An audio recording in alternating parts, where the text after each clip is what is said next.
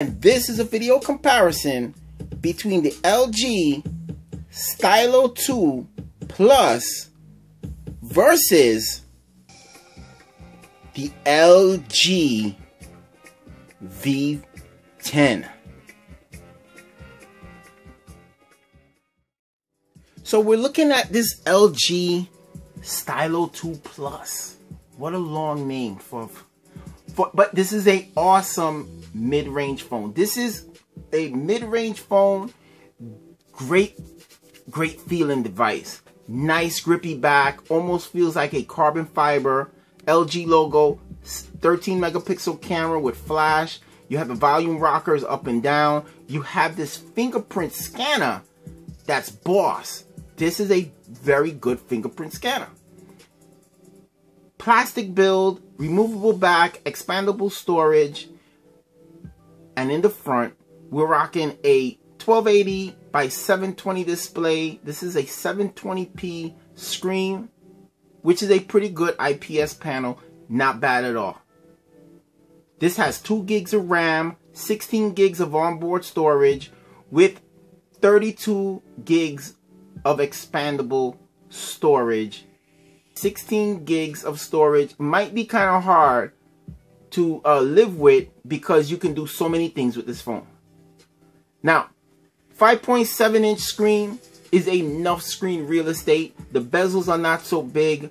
Good looking phone. You have these chrome around the front the phone. So it gives off a nice metal look even though it still is polycarbonate plastic. The phone feels light. You have to convince yourself that the battery is in this phone because it is so light. 29 milliamp hour battery that just lasts and lasts and lasts. So this is not a bad phone for a phone that you can get for less than $200. Now the price range for this phone around 120 something to even $200 and it's worth it because a lot of carriers are giving to you on sale.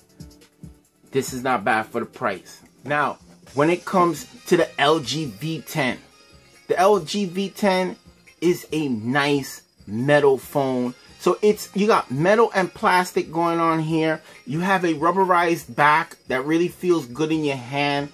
You have the volume buttons with a fingerprint scanner, 16 megapixel camera with flash, and you got this laser autofocusing that's really on point. Two 5 megapixel cameras in the front that are very good with a 5.7 inch 5.7 inch quad HD display with a extra inch of display at the top so you can do multitaskings and so forth. This is a real good phone and it's very strong. Now, when it comes to both of these phones, let's just start with the display. You're dealing with 5.7 inch displays here. And may I say, this display on the LG V10 is on point.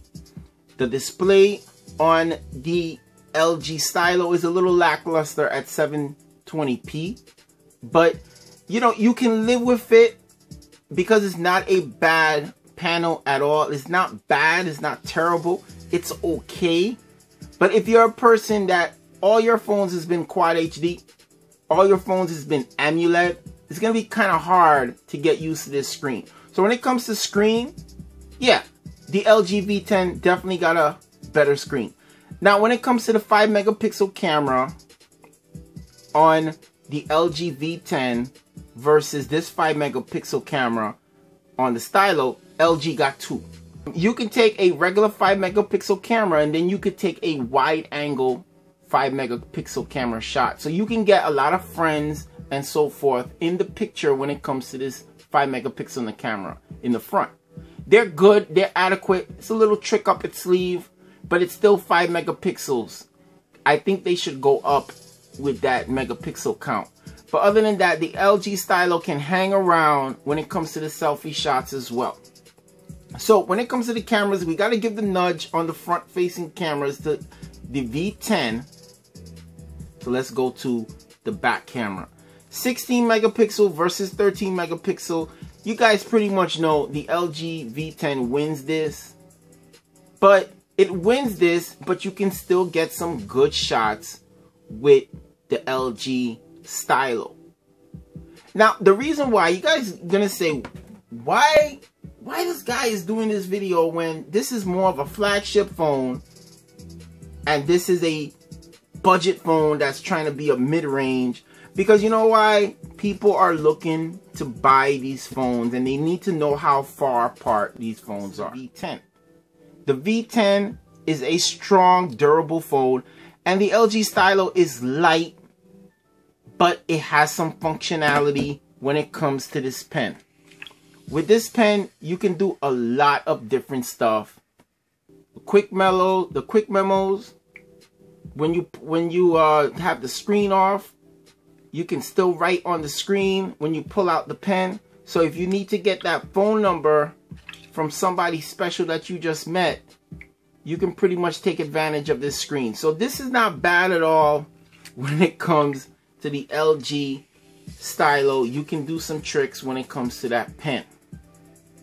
Now, the LG V10 by being the strong phone. I call it the bionic phone because this is a real strong, durable phone.